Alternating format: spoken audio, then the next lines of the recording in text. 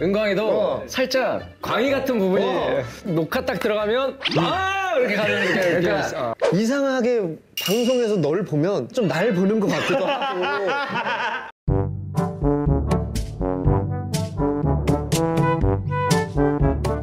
은광이 약간 좀 방송 모드, 약간 좀 가짜 모드가 좀 많이 있네. 정확합니다, 정확합니다. 은광이가 좀 가짜 모드가 좀 있네.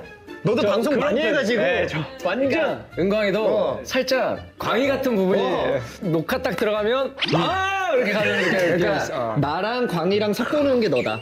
그래서 은광이잖아. 그래서 어, 너가. 정확합니다, 정확합니다. 어, 그 오프일 때는 어떤데? 오프일 땐 저는 그래도 조금 더 차분하고. 아까처럼 너 발 다친 거 봐도 그래 그냥 봐도 그냥 아 말라 아니, 본체도 안해 그냥 보고 아 이따가 얘기해야지. 머릿속에 그려놨겠지 아, 방송 들어가면은 어이구 형님 이거를 야야야 야 가만 가만 진짜 처음 봤어. 아니 그래서 제가 사실 동희 형은 어. 우리 저 헬스장에서 이게 많이 마주쳤어요. 아, 그래? 진 밑에 아, 같이 진 했을 밑에 헬스장. 네. 아 그래 그래 그래 그 사실 은혁이 형을 또 본 적은 없어 사적으로 한 번도 본 적이 없어요. 맞아 맞아 나 그래서 너 궁금했어 되게 근데 왜 왜냐면은 이렇게 친근하지? 네. 어, 그러니까 나도 이상하게 너가 친근한 거야. 이상하게 방송에서 널 보면 좀 날 보는 것 같기도 하고.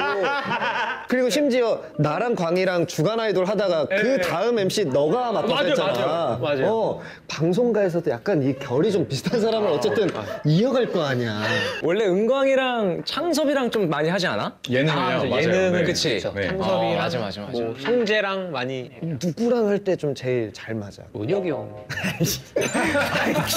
야, 방금은 눈이 거의 버튼 누르듯이 나왔어. 너 너무 내가 이거 가짜야 웃어? 아 진짜요, 아 진짜요. 어, 멤버 중에 얘기하는 멤버 갑자기 중에서, 은혁이 네. 형이 야 맞네. 완전 그리고 너가 나랑 몇 번이나 방송을 했다고 뭐 나랑 잘 맞아. 저는 어, 너무 좋아가지고 형이랑 작별했던 그